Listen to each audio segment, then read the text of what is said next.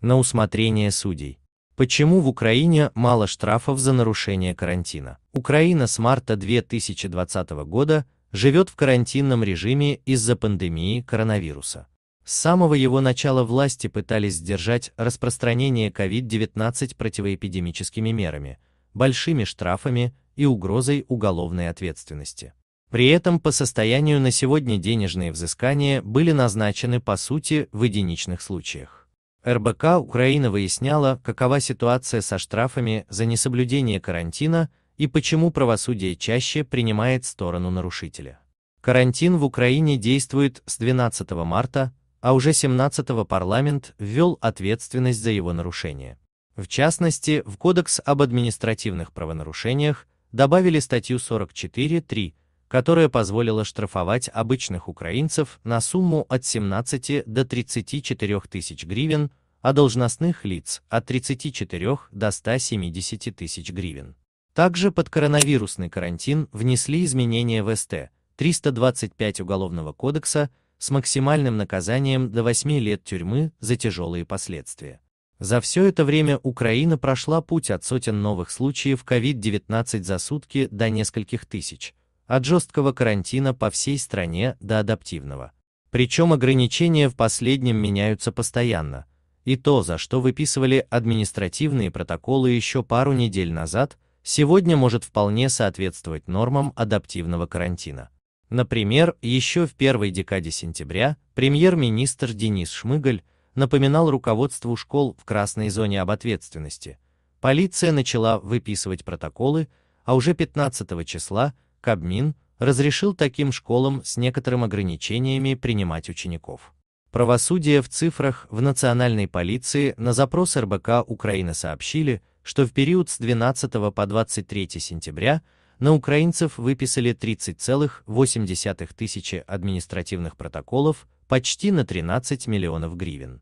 В разрезе регионов здесь лидирует Днепропетровская 3,441, Харьковская области 3,017 и Киев 3,152, меньше всего с учетом связанных с оккупацией обстоятельств выписали правоохранительные органы Аркрым 126 протоколов. Несмотря на такое количество, далеко не во всех случаях накладывались штрафы самими полицейскими. По данным Государственной судебной администрации, из около 33 тысяч протоколов, по состоянию на 28 сентября, взыскание просили в одном 580 случаях 4,7%. Но еще интереснее ситуация с уплаченными штрафами.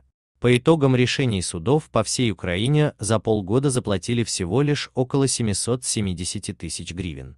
Адвокат и глава профсоюза Украинская независимая фундация юристов Ростислав Кравец считает, что такую разницу между количеством составленных протоколов, судебных постановлений и оплаченных штрафов могут объяснить несколько причин. Во-первых, часть решений может еще оспариваться в апелляционном порядке, а в тех случаях, где штрафы взысканы, а у людей просто нет средств их добровольно оплатить, взыскание будет происходить через исполнительную службу.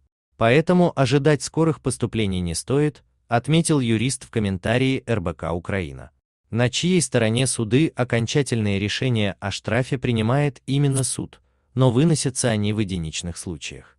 И тоже по разным причинам. По словам Ростислава Кравца, основной из них является неправильное составление админпротоколов и отсутствие доказательств нарушения карантина. Кроме того, многие судьи, принимая во внимание тяжелое материальное положение, обходятся предупреждениями.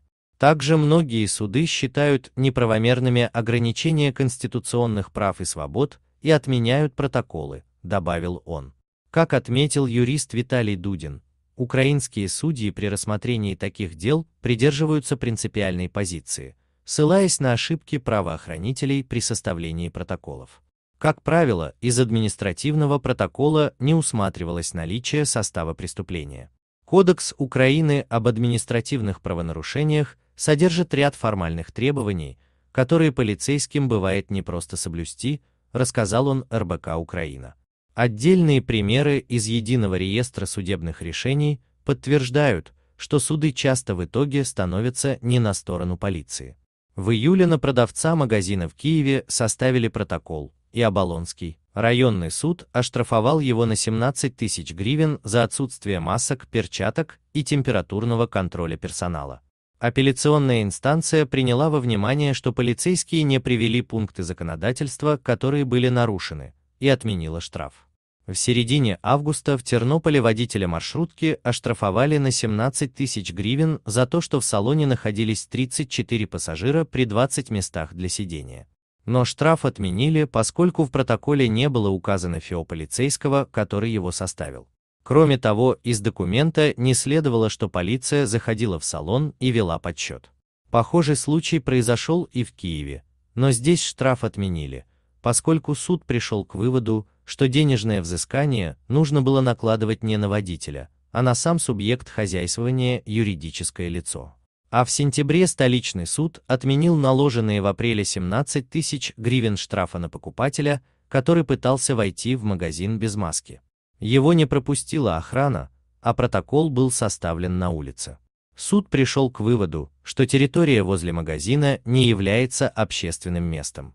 И недавно Киевский районный суд Одессы на основании малозначительности правонарушения ограничился устным предупреждением в адрес работника местного барбершопа, который находился без защитной маски на рабочем месте.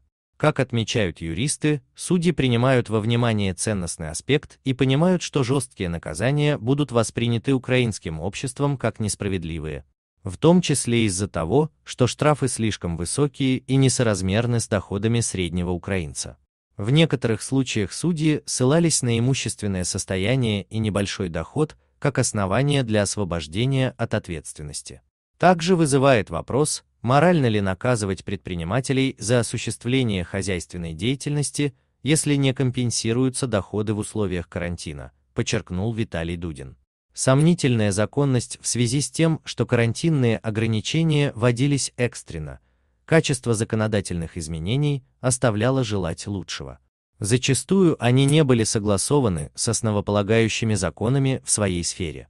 Например, норма СТ 44.3 КОАП о штрафах отсылает к нормативно-правовым актам, которые регулируют правила карантина и обязательны для исполнения. При этом ограничительные меры утверждались Кабинетом министров, а основания для привлечения к административной ответственности, согласно СТ 7 КАП, определяются законом. Сюда же можно отнести и то, что запрет на мирные собрания вводится только судом, а ограничение конституционных прав может устанавливаться исключительно законом. Но следует учитывать риск понести административную ответственность за нарушение карантина всегда существует, поскольку судопроизводство проходит в упрощенном порядке. Хотя многие юристы сомневаются в законности такого наказания. Что касается штрафов, то в свете незаконности ограничения прав граждан Кабинетом министров Украины или местной властью без введения военного или чрезвычайного положения, мое личное мнение, они незаконны, отмечает адвокат Ростислав Кравец. Внести определенную ясность могло бы решение Конституционного суда Украины. В конце сентября он определил, что некоторые карантинные ограничения не соответствуют основному закону. Таковыми признали урезание зарплат чиновникам, запрет на работу ресторанов и так далее. Также КОС подтвердил, что правительство не имеет права ограничивать конституционные права. Однако сам карантин продолжает действовать, поскольку рассматривалось постановление, которое на тот момент уже утратило силу. Юрист Виталий Дудин подчеркивает, что решение КОС не повлияет на практику привлечения к ответственности за нарушение карантина. То есть дилемма штрафовать или не штрафовать все так же остается на усмотрение судьей. Введение ответственности за нарушение карантинных правил должно было выполнить не столько фискальную цель, сколько психологическую. Главный санитарный врач Виктор Лешко, РЭД, высказавшись в таком ключе, заставил усомниться в необходимости соблюдения ограничений. Перспектива получить реальное наказание была незначительной, но чувство опасности у граждан усилилось, добавил он.